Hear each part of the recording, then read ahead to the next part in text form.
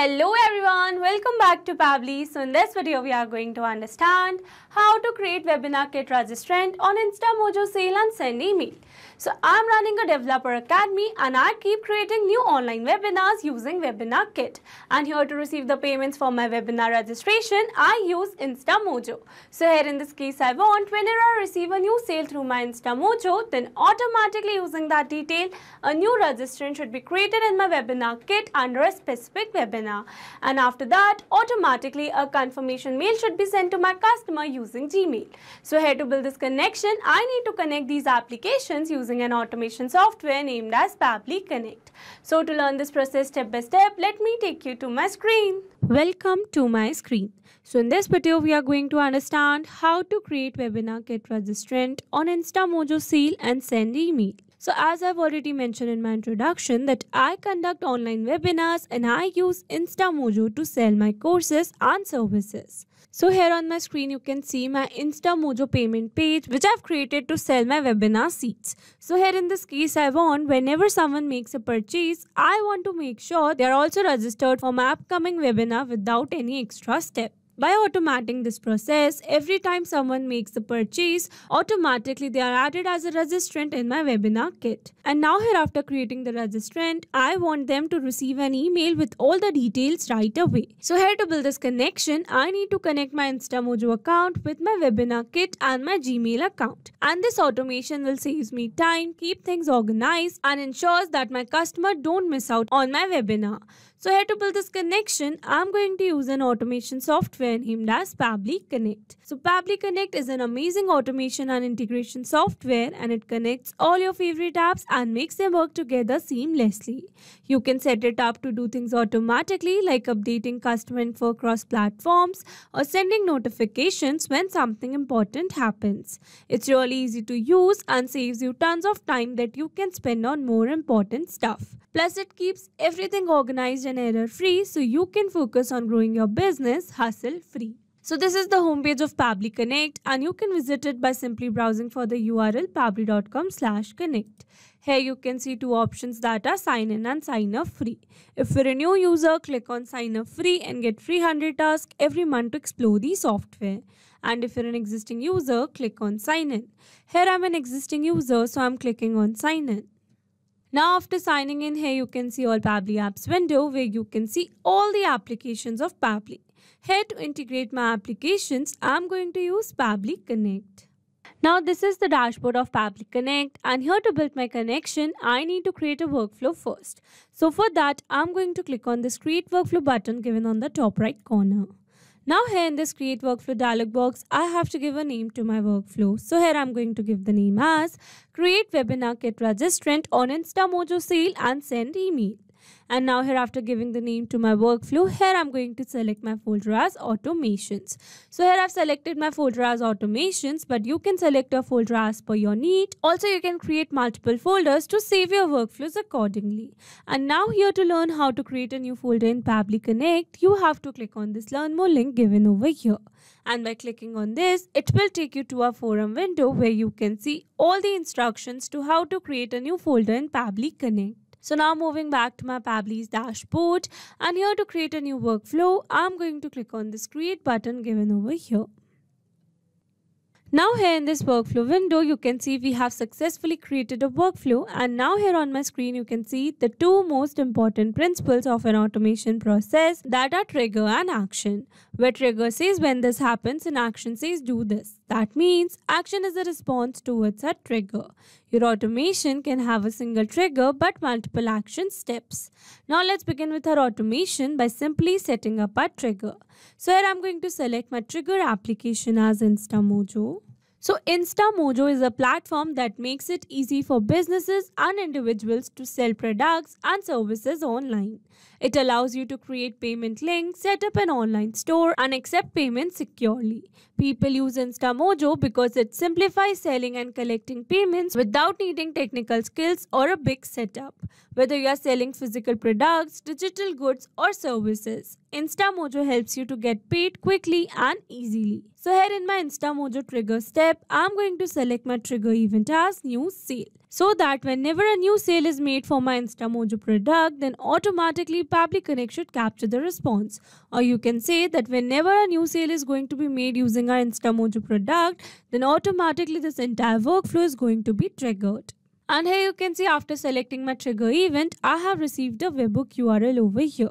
That means here I'm going to use this webhook URL to connect my InstaMojo with Pabbly Connect. So here following the instructions given below, firstly here I'm going to copy this webhook URL and here I've already logged in my InstaMojo account and here in my InstaMojo account you can see under all products all the products which I'm selling using InstaMojo. So here I want to set up this automation from a specific product which is named as PHP for programming. So here I'm going to select my product and now here after selecting my product I'm going to click on this advanced option given over here and from here I'm going to scroll it little down and here you can see we have received the option for webhook URL. So here I'm going to remove this previously existing webhook URL and now I'm going to paste the new webhook URL that I have received in my Pabbly's workflow. So this is my webhook URL and now I'm going to click on the save given over here and here you can see it says updated successfully. That means we have successfully set up the webhook URL inside our InstaMojo account. So now let's move back to our Pabbly's workflow and here you can see as it is waiting for webhook response. That means here to receive a webhook response we need to do a test submission and to do a test submission we need to make a test sale for our product. So for that let me take you to my product checkout page so this is my product checkout page and here I'm going to click on this buy now given over here and then I'm going to click on this buy now and then here it is asking me to enter the customer information. So here I'm going to enter some dummy data and do a test submission.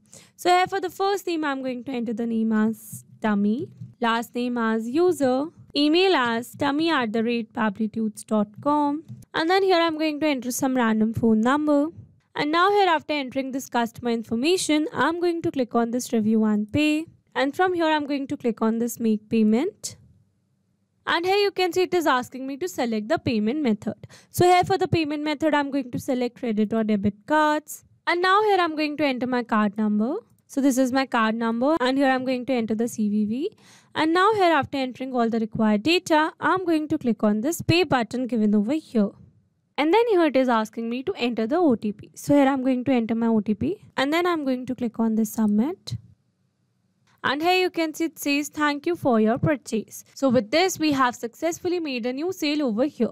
Now let's go back to our Pabbly's workflow. And here you can see we have successfully received a response over here where we have received some details such as payment request ID, payment ID scrolling little down. Here you can see the buyer's phone numbers, buyer's name and buyer's email address. And also you can see we have received the amount over here. So with this we have successfully set up our trigger over here. Now let's move to action step and here I'm going to select my action application as webinar kit. So Webinar Kit is a tool that helps you create and host webinars which are online seminars or meetings. It makes it easy to set up and manage live or automated webinars including features like registration pages, live chat and follow-up emails. People use Webinar Kit because it simplifies the process of reaching and engaging with an audience online, whether for training, marketing, or presentations. It's ideal for businesses and educators who want to connect with the people and share information in an interactive way. So here in my webinar kit action step, I'm going to select my action event as new webinar registration.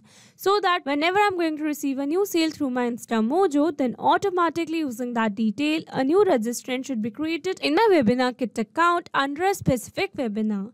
And now here to connect my webinar kit with Pabbly Connect, here I'm going to click on this connect. Here to build a new connection, I'm going to select add new connection. If your webinar kit account is already connected with Pabbly Connect, then you can click on select existing connection. And now here to build a new connection, it is asking me for a API token. So here following the instructions given below, here I've already logged in my webinar kit account. And from here, I'm going to click on my profile. And from here, I'm going to select settings. Now here under settings, I'm going to scroll it little down and here you can see under this API access, I have received my private API key. So here I'm going to copy it, moving back to my Pabbly's workflow and here I'm going to paste my API key. And now here after pasting my API key, I'm going to click on the save given over here. And here you can see we are now successfully connected. So moving forward. And then here it is asking me to select the webinar id so basically in this webinar id field i need to select my webinar name.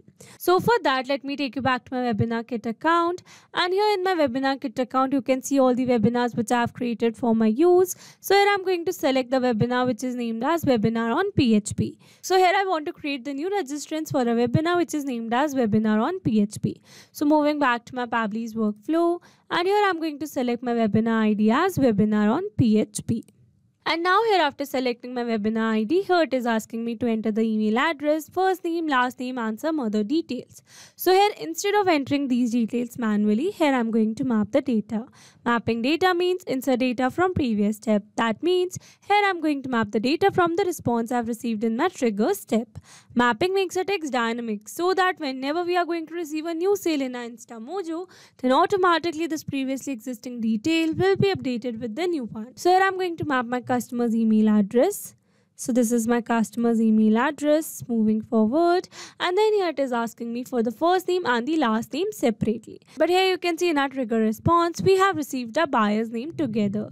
So now what we have to do is that we have to split this first name and last name over here.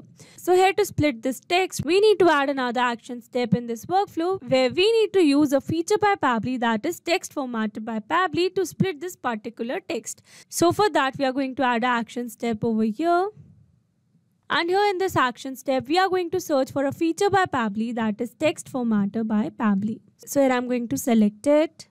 And then here in this action event, you can see all the action events for which you can use text formatter by Pabbly such as basic formatting, extract pattern, find in text, replace text, split text, scrolling little down, text parser, truncate, URL encode and decode and some other events also. But here I want to split my buyer's name. So for that I'm going to use the split text over here. And now here after selecting my action event, I'm going to click on this connect given over here.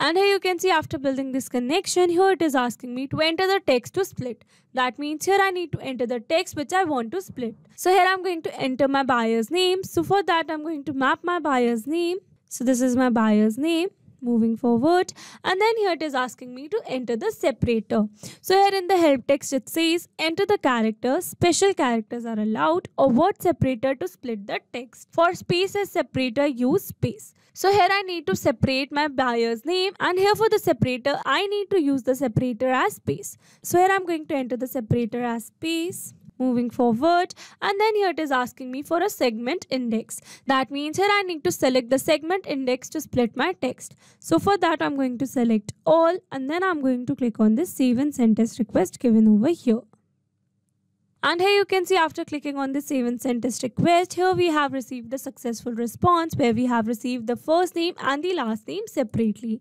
That means here in this action step, we have successfully splitted our buyer's name. So now let's move back to our webinar kit action step. And now here I'm going to map the first name from the response I have received in my text formatter.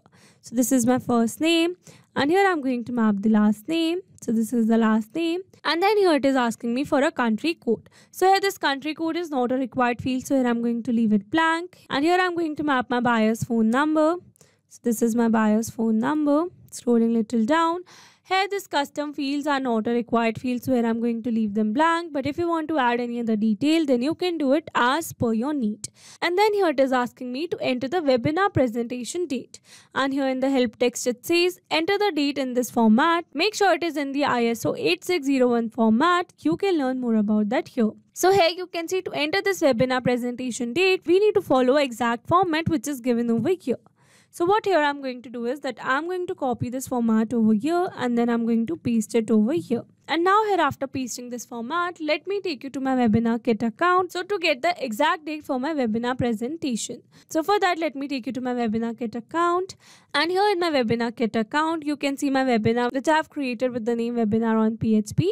So now I'm going to click on this arrow given over here. And from here, I'm going to select edit webinar. And now here under this edit webinar, I'm going to scroll it little down. And here you can see we have received the option for scheduled webinar dates. So here I'm going to schedule my webinar by clicking on this add button given over here. And then here for the type I'm going to select specific and then here I'm going to select a specific date as 15th September and then here for the time I'm going to select time as 12 p.m. and then here it is asking me to select the time zone. So here I'm going to search for my time zone that is Asia Kolkata. So here I'm going to select my time zone and now here after entering all the required data, I'm going to click on this add webinar date given over here. And here you can see I have successfully added a webinar date over here. And now here after adding my webinar date, I'm going to click on the save given over here. And by clicking on this, you can see we have successfully scheduled our webinar over here. So now let's move back to our Pabbly's workflow. And now I'm going to edit this format as per the date I've entered in my webinar presentation. So here for the year, I'm going to enter the year as 2024. For the month, I'm going to enter 09. And here for the date, I'm going to enter 15th. And then here for the time, I'm going to enter the time as 12. And now here after entering this webinar presentation date, I'm going to click on the save and send test request given over here. And here you can see we have received a successful response. That means we have successfully created a new registrant under our webinar. So now let's go and check it. And I'm going to move it back. And now here in my webinar, I'm going to click on this arrow and then I'm going to click on this view analytics, scrolling little down. And here you can see we have successfully created a new webinar with the email as dummy at the rate first name as dummy, last name as user, and a random phone number over here. So with this, we have successfully set up this action step. Now let's move to another action step by clicking on this add action step button given over here. And now here in this action step, I'm going to select my action application as Gmail. So Gmail is Google's email service that lets you send and receive emails online. People love it because it's easy to use, has lots of storage space and keeps spam out of your inbox. It works well on any device and helps you stay organized with features like labels and filters. Whether you're emailing friends, managing work projects, or just staying connected, Gmail makes it simple and reliable. So here in my Gmail action step, I'm going to select my action event as send email v2 so that whenever I'm going to receive a new sale in my InstaMojo, then automatically using that detail, a new registrant is going to be created in my webinar kit and after that, automatically a confirmation mail should be sent to my customer. So now here to connect my Gmail with Pabbly Connect, here I'm going to click on this connect. Again here to build a new connection, I'm going to select add new connection. If your Gmail account is already connected with Pabbly Connect, then you can click on select existing connection. And now here to build a new connection, I'm going to click on this connect with Gmail. Here I'm going to select my desired account. And then I'm going to click on this allow and give access to Pabbly as your data is secured with Pabbly. Authorization successful. So here you can see we are now successfully connected. So moving forward and then here it is asking me to enter the recipient email addresses. That means here I need to enter the address to whom I want to send this mail. So here for my recipient email address, I'm going to map my buyer's email. This is my buyer's email. Moving forward. Here the CC and BCC field are not required fields so here I'm going to leave them blank and here for the sender email address you can see it has already selected my own email address so that I can send this mail from this particular mail ID. So now moving forward and then here it is asking me to enter the sender name. So here for the sender name I'm going to enter my academy name that is ABC Developer Academy. And now here after entering my sender's name, here it is asking me to enter the email subject. So here I need to enter the email subject which I want to send. So here I'm going to enter my email subject as you are registered for our upcoming webinar. So this is my email subject. So now moving forward and then here it is asking me for a reply to field. So again this field is not a required field. So here I'm going to leave it blank and then here for the email content type, I'm going to select my content type as plain moving forward and then here it is asking me to enter the email content that means here i need to enter the email body which i want to send as a mail to my customer so here i'm going to enter my email body as Hi, customer's name. Thank you for your recent purchase. We are excited to let you know that you have been automatically registered for our upcoming webinar that is PHP programming. Here are the details. Date 15 September 2024. Time is 12 pm. And then it says please make sure to mark your calendar. We will be covering some valuable insights that will help you get the most out of your recent purchase. If you have any questions or need assistance, feel free to reply to this email. We are here to help. Looking forward to seeing you there. Best regards, ABC Developer Academy. So this is my email body and here in the place of this customer's name, I'm going to map my customer's name so that it can keep changing. So I'm going to map my customer's name. This is my customer's name and with this I have successfully completed my email content. So now moving forward and then here it is asking me for a file name, attachment, label, IDs and signature. So again these fields are not a required field so here I'm going to leave them blank and now here after entering all the required data I'm going to click on the save and send as request given over here.